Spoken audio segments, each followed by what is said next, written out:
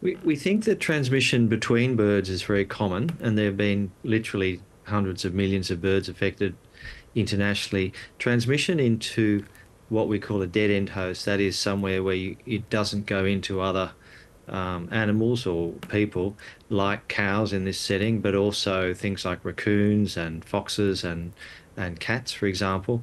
We think probably occurs reasonably frequently, and typically the animals are not so sick as, as the birds, which of course typically die. Mm-hmm. But what about the transmission to humans? How common is that? We think again that's really only in, in very close contact with a large numbers of, of ill birds, and we think it's probably occurring infrequently, but not as rarely as you might think, given the sort of numbers we talk about.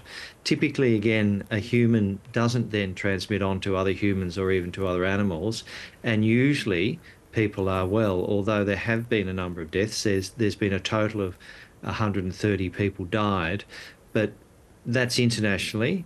That is also over a period of um, over well, almost 30 years, so since 1996. So, fortunately, that number is relatively small, certainly compared to what the deaths we've seen in, in animals. Yeah. So, how do you contain a bird flu outbreak like this? Uh, with difficulty is the, the short answer, mm-hmm. um, because it's typically in very large numbers of birds and it spreads very quickly.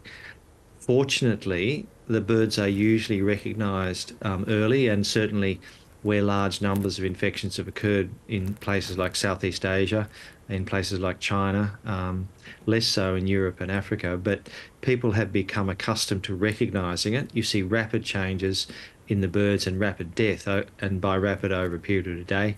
People are then culling birds and putting in place, I guess, ring fencing and that culling plus control has typically been very successful in, in preventing further spread. Yeah.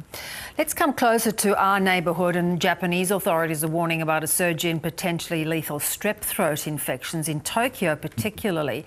They've tripled there. How serious is this?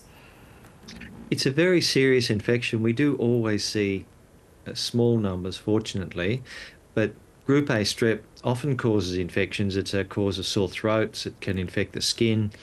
The, the more severe cases of what we call streptococcal toxic shock syndrome and other generalized infections can cause death. And so up to a third of people who acquire that type of infection can die. Fortunately, small numbers, but again, it, it can be quite, you know, frightening. It's probably related to the changes in uh, the way that we wash our hands. And uh, in Japan, it does appear that, like other countries, um, the infection control that we had with COVID, washing hands, masks, um, you know, social distancing, all those things, when they come came off, was certainly associated with increase in general infections, respiratory infections, but also in things like group A streptococcus, and, and that's what causes this syndrome that's being seen in, in Japan as well as elsewhere in the world, including Australia. Yeah, that is interesting. And you know, some experts are blaming COVID itself for the spike. So, what do you make of that, or is it simply because of COVID, um, our immune systems are a little bit weaker or, or, not so ready to manage this kind of infection? It's a very good question. There's not been a direct relationship between uh, SARS infection and COVID and Group A strep, and it's very important to realise that you know we've had 700 over 700 million cases of, of COVID internationally. We're talking about a handful of cases and much smaller. Notwithstanding that that's clearly very serious and it's important to, to look at it, and it is controllable by antibiotics. The the effect of COVID on the immune system is still being worked out, but it appears more likely that it's an infection control. It's a it's a it's an increased risk of getting it rather than something that COVID's done to our bodies. But there is research into that, and it's important that that continues. Yeah, and I'm interested, Bill, in what your thoughts are about this sort of contention around using the term long, long COVID. Look, I think that there's no doubt that a group of people, um, and and probably a, because of the large numbers of COVID cases, a relatively large number of people who are have prolonged symptoms, and they include things like fatigue. and brain fog and, and things that are well described. There's also a group which overlaps with that who, who have ongoing physical symptoms, particularly heart, um, uh, neurological symptoms, things like stroke and um, heart disease are certainly and high rates of infected people at one, two, and, and three years following infection. How long that continues to go for is really something that that needs to be researched. Whether the term is used or not, I think there's no doubt that there are post-viral syndromes, there are post-COVID viral syndromes, and they need to be researched and looked into. And the terminology you use is is really what's best for people. Uh, yeah. It's more important researching it. It's an interesting point because I think some people feel sort of shut out if, if, if it isn't acknowledged to a degree that there are post-viral symptoms, whether it's something for like COVID or other viruses that circulate.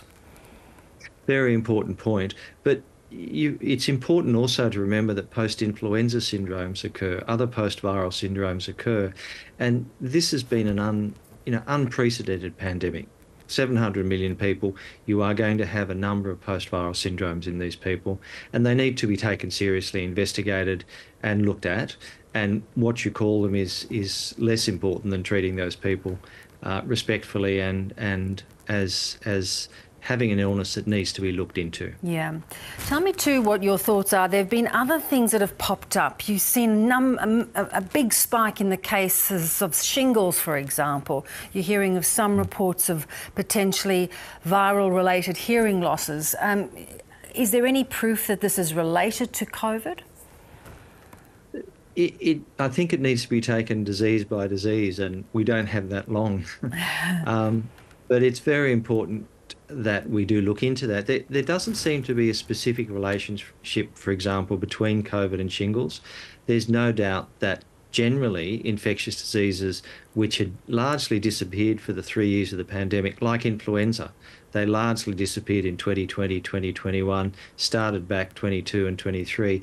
Those things have come back, and you would expect other infectious diseases like measles, which is being seen worldwide, things like um, varicella, chickenpox, to also increase alongside that. That's really infection control related. It doesn't necessarily have to be specifically related to an interaction uh, with SARS CoV 2 and COVID. Yeah. Complicated implications. Great to have you on, Bill. Thanks so much.